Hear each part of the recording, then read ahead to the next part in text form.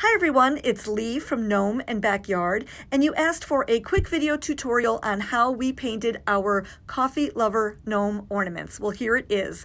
The first thing we did is we painted all of their feet chocolate brown and the hooks on top to match our hats.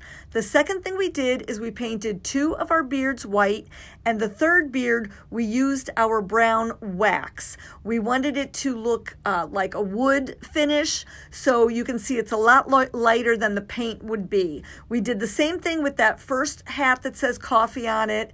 And with the third hat that says lover, we did take the wax also, but we wiped it off with a baby wipe to get a real, real light color. Our hat in the middle, we painted pink. Of course, our noses, we painted flesh color, and then we had some fun with our coffee cups and our donut. Our one coffee cup, we painted it blue and gave it yellow polka dots. Our other coffee cup, we painted it purple with a little pink heart. And then, of course, our donut had to have sprinkles, and we painted sprinkles on our donut, which you'll see a little bit better in the end. Now, all we're doing right now is taking our instant glue, and we are gluing our beard layer on top of our base layer and now we are just gluing our hats on top of our beards. This is a 3D project. It looks really, really sweet. These are really cute if you have a tree in your kitchen, or they look absolutely adorable hanging with twine on your coffee bar. These cuties you can keep out all year round. Now, here's my favorite part. Everybody knows that when we add the nose, it really does look like a gnome. How cute are they?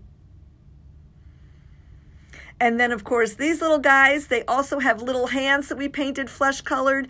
Each one needs a little hand to hold his coffee mug. And of course, our little guy in the middle, whose donut icing and sprinkles match his hat, he needs two hands to get a great grip on that donut. How cute is that little donut? Now, we did use a very fine paintbrush to get all those details. We hope you enjoyed this quick tutorial and thank you so much for continuing to sprinkle all of Gnome and Backyard's videos.